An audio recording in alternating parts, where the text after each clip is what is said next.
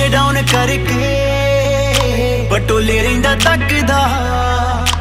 ਹੋ ਗਿਆ ਮਰੀਜ਼ ਮੁੰਡਾ ਦਿੱਲੀ ਤੇਰੀ ਅੱਖ ਦਾ।